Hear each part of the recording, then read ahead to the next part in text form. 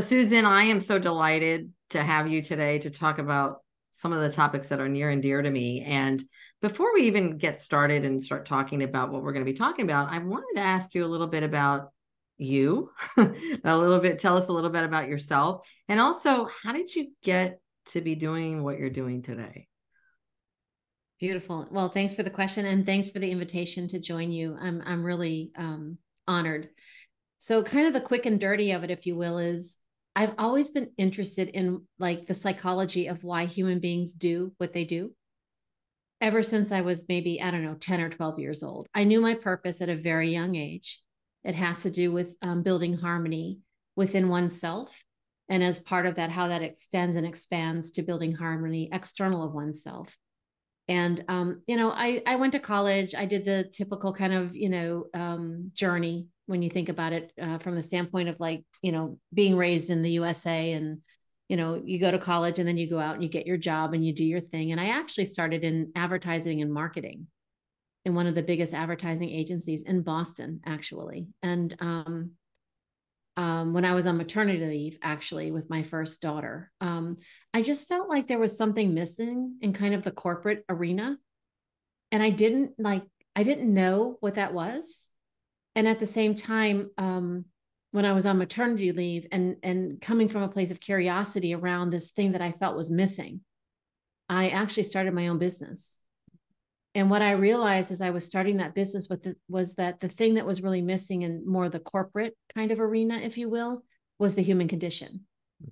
And so how could i um, again link to a purpose of building harmony within and external create spaces where we could bring the human condition back into business.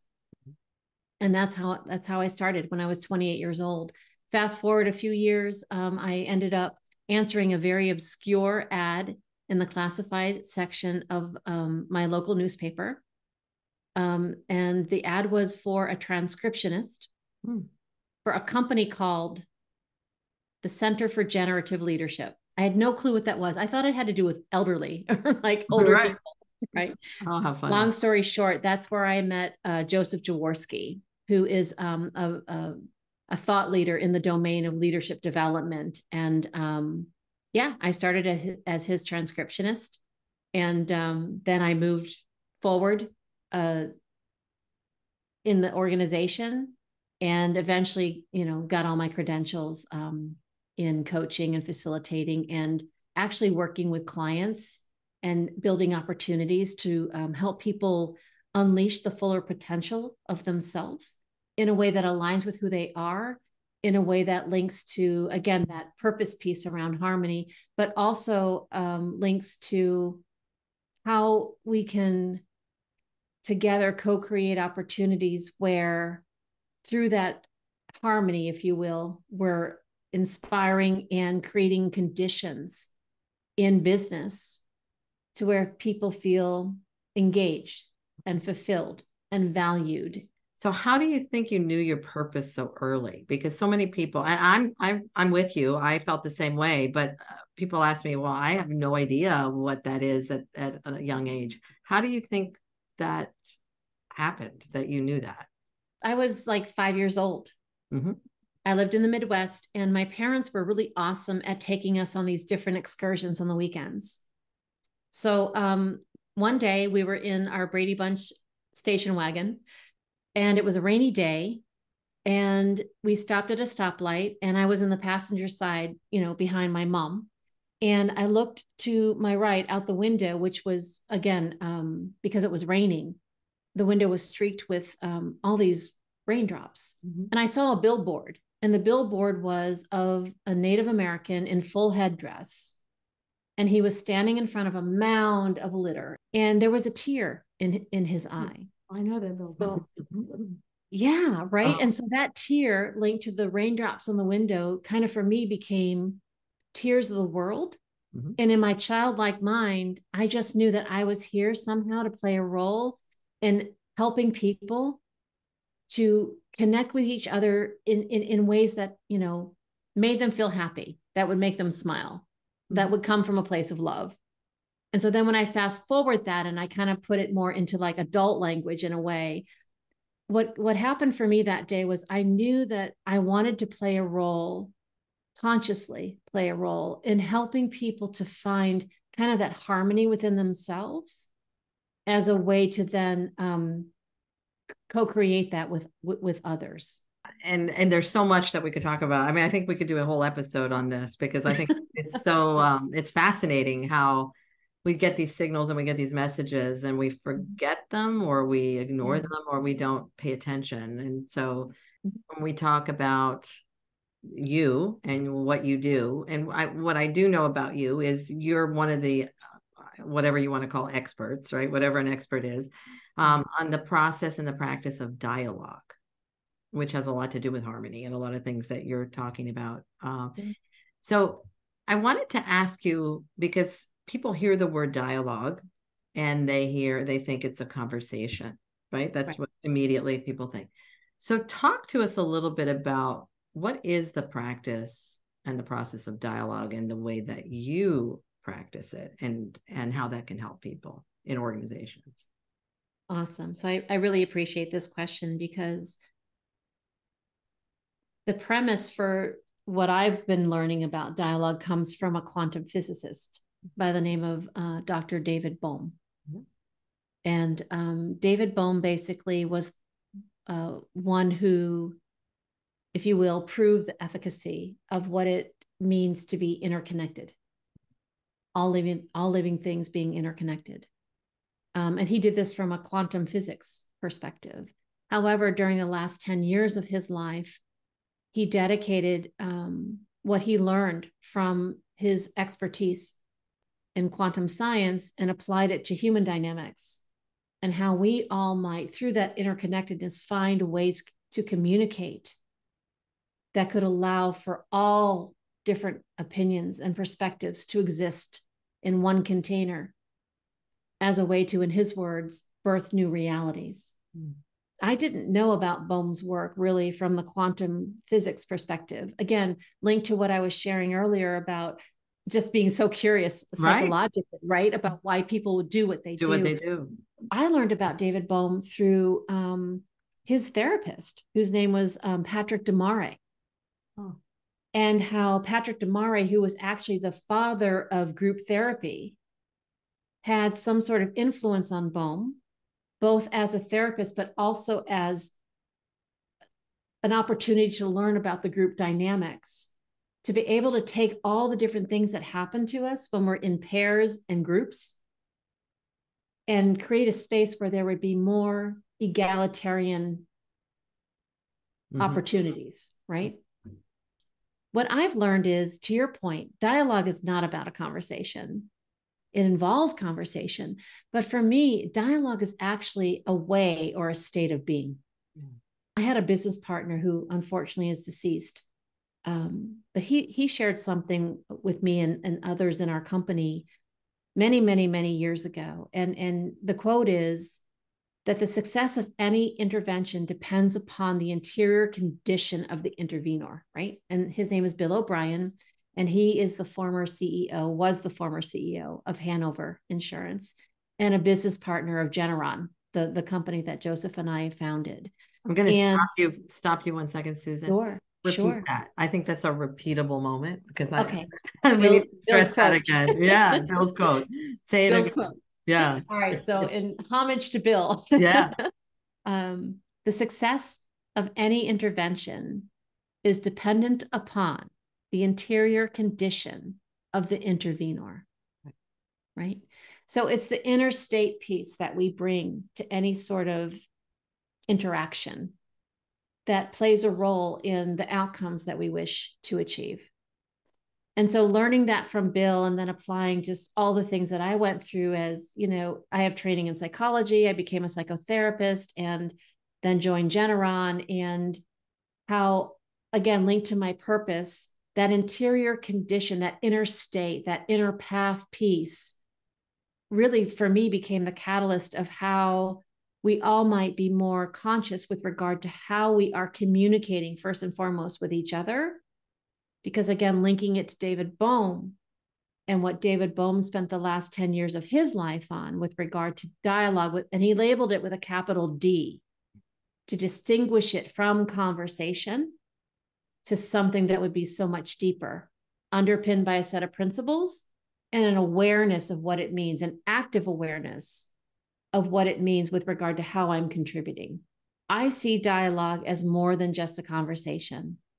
It is a way of being, it is a way of how I show up and interact and listen and slow things down and suspend judgment, not in the way that we think about it, like putting it aside, but instead, in David Bohm's word, suspending judgment and opinions in ways where they're like hanging in front of you for you and anyone else that you're interacting with to actually examine.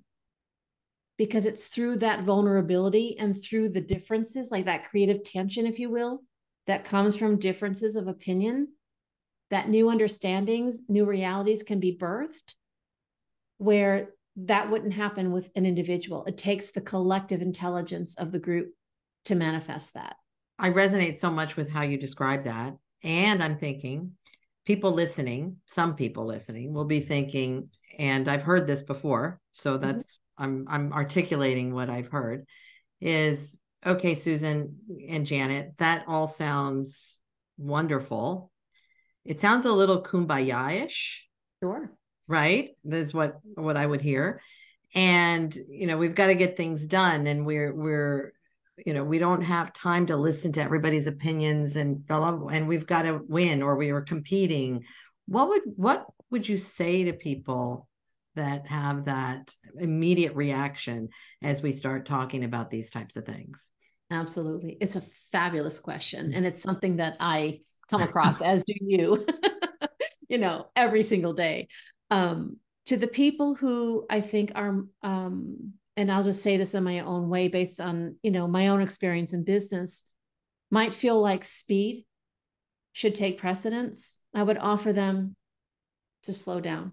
Mm for just a moment. I mean, even someone like Steve Jobs, right?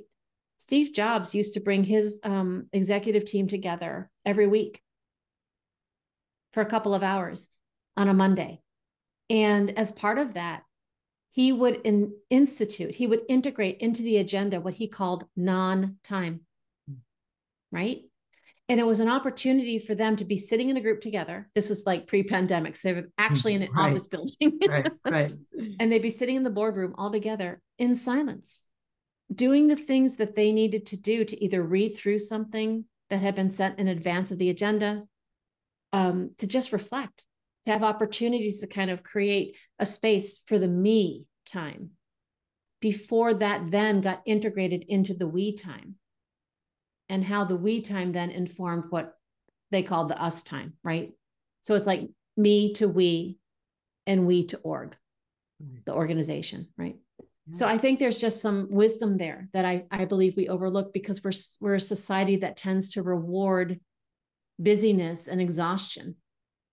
But what if we were to flip that just a little bit and take even a few moments, right? So so can you walk us through how a leader would practice dialogue? I think the first thing with regard to dialogue is really about listening. And I think we all feel like, for the most part, maybe we listen pretty well. My experience is that we don't. It actually takes a lot of practice.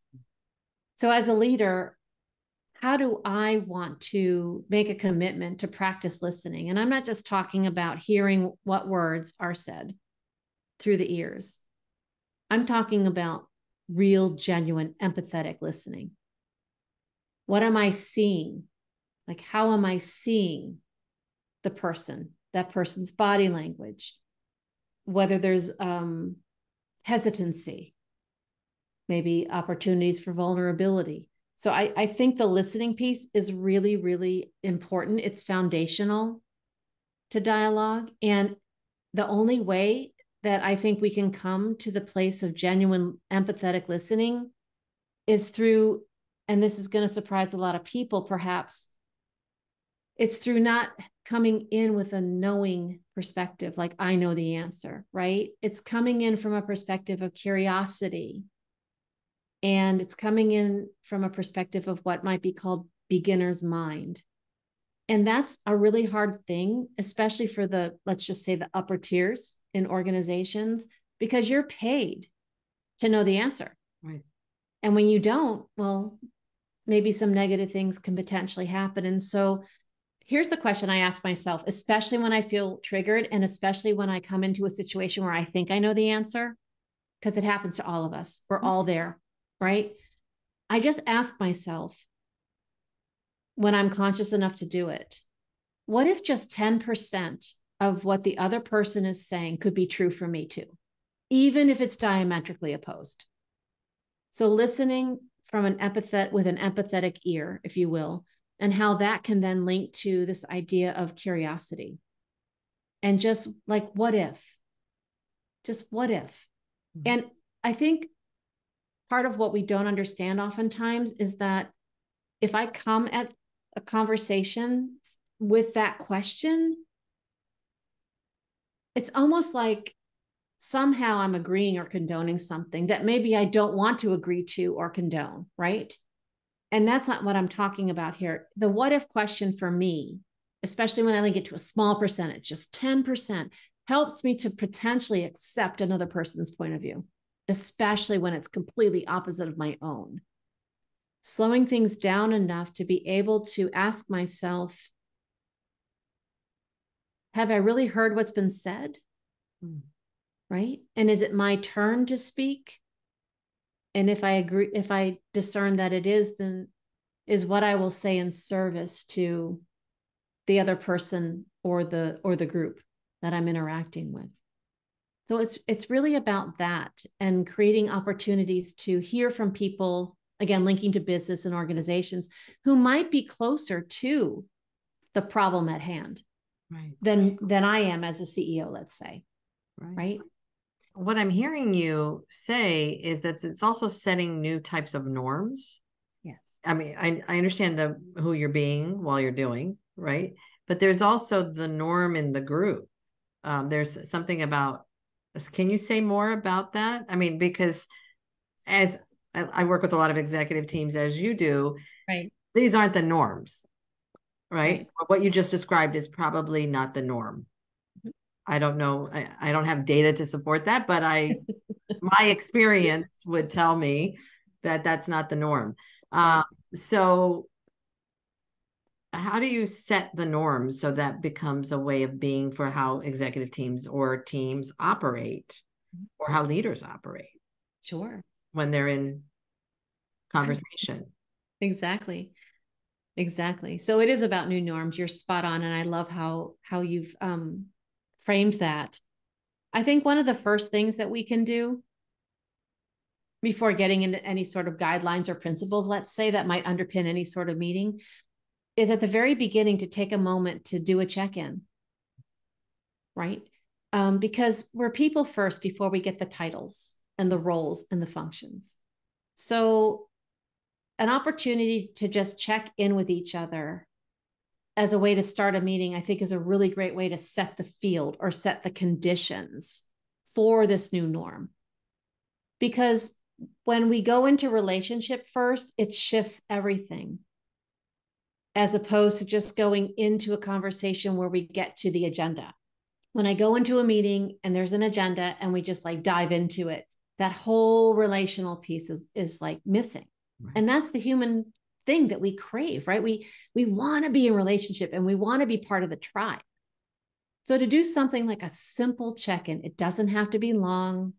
It can be a fun question, an icebreaker. It can just be, hey, what's on your mind this morning? Maybe um, your daughter just had a baby and you're a grandmother for the first time, right? Or again, in the olden days, pre pandemic, when we all commuted, maybe that commute, that traffic was like horrific and you just need a minute to, you know, take a breath it's a way to get everybody present in the meeting mm-hmm. and get to that human relation piece before you even start to talk about the topics. The other thing is, I think it's important to establish some principles that underpin how you're going to have these conversations, how you're going to have these meetings, whether it's a 10 minute stand up or a two hour board meeting. And how can you co create some sort of principles or alignment underneath how you want to be together and then create the conditions for you for you to actually show up that way? Because it's at the end of the day all about that culture piece right? And if we miss that piece then we're just machines yeah. Kind of and right? it's you said something and it just went boom right into like it exploded as you were saying it. Set the field. Mm-hmm. and i think we don't pay attention as much to energy right? And because there is an energetic field that's being set. And and we, we don't like to talk about that. That's squishy uh, right? I i mean I, I, just want to be, be frank about how i our, our experience in organizations is these are squishy things like what, what do you mean i'm going to go set the field? Mm-hmm. uh, but there's an energetic you can walk into a meeting and you can feel the energy you can feel the tone you can and and we're energetic beings.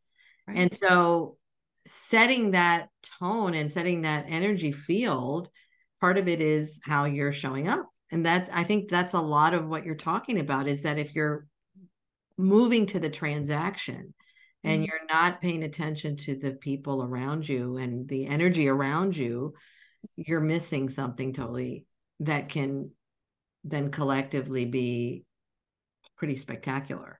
That's what i hear yes. as you talk Yes, it 100%. I love what you're saying. Like I have goosebumps because it resonates so much, Janet. And you're right. I could be 10 minutes late for a boardroom meeting and walk into that space having no idea what was discussed and know energetically. Right.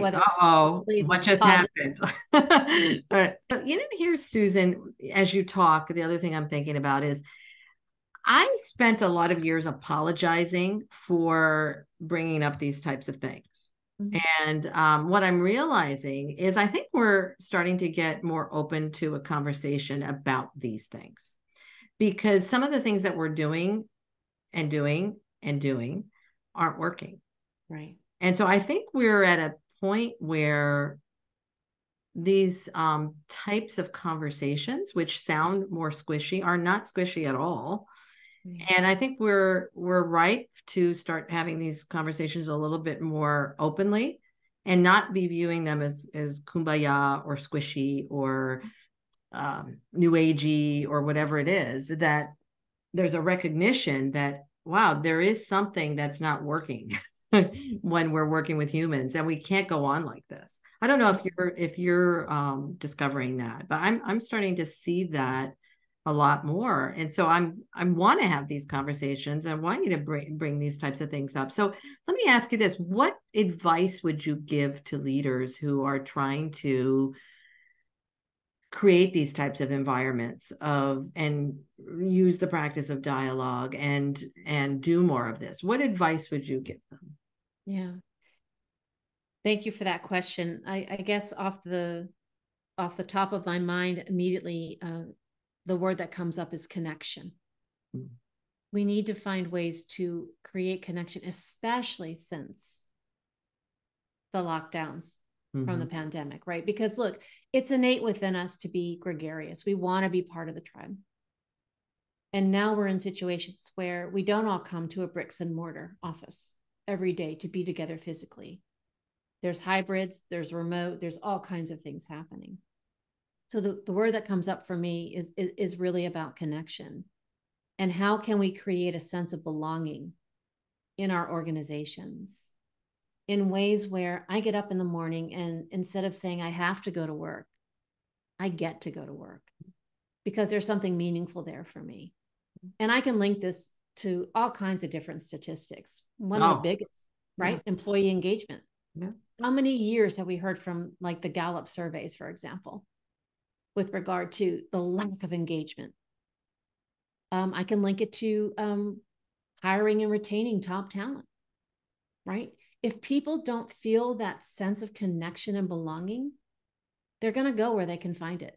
Right. Because again, it's innate and it's what we gravitate toward. So, my biggest piece of advice would be to find a way, however it works for you, because I don't like to prescribe any one way. There is not one right. way. Exactly. Whatever works for you, try to find a way to create that point of connection for your stakeholders in ways where they feel like they belong and they feel like they belong to a point where they can engage in meaningful ways to contribute and how that then links to performance drivers right? Right. To meet your objectives as an organization and the deeper thing i'm getting out of what you're saying because of what you said earlier is it's not a list of okay here's the three things that you do to create connection. It's who you're being. Exactly. And that's a deeper it takes a lot more work than okay i do this and i do this and i just did all these things on my list. Right. and now we're connected. Exactly. And for, i love it right because we're never uh, we're, we're never only doing and we're never only being they're like right. they're right so for me if i were to do like a math equation i'd have doing i'd have a line underneath it i have being equals inspired action mm. because for me there's a difference between busyness being on the hamster wheel and busy through inspired action. And when I'm paying attention to my being, right? And how I'm being in my doing, that shifts everything. I want I don't want to be on the hamster wheel. I want to be inspired through my through the actions that I'm doing in ways that put energy toward the things that fuel my heart link back to purpose where we started this conversation. Yeah, so we came full circle on this. We did. it's an important conversation, Susan, and I really Thank appreciate you. you having this with me today because I think um, I want to have more conversations like this. I think, uh, like I said, I think we're ripe for them, and the more we can talk about these things, the better. I'm going to ask you because we could talk here forever about this topic, but I, I just want to ask you what nugget of inspiration would you leave the listeners today based on the conversation we had? I would say the nugget of inspiration would be to trust yourself. Mm. Trust yourself. Your body never lies. And you know in your heart of hearts what's happening. So if you can trust yourself and in that be vulnerable enough to choose a different way or a different path or a different interaction, follow that. Listen to your heart. I love it. Listen to your heart. It's interesting. It kind of goes back full circle to your purpose, right? Where you trusted yourself and trusted your purpose from the very beginning, from that billboard you saw. So I love it. Thank you so much, my wise woman, for being with us today. Thank you so much. I truly appreciate you. Thank you.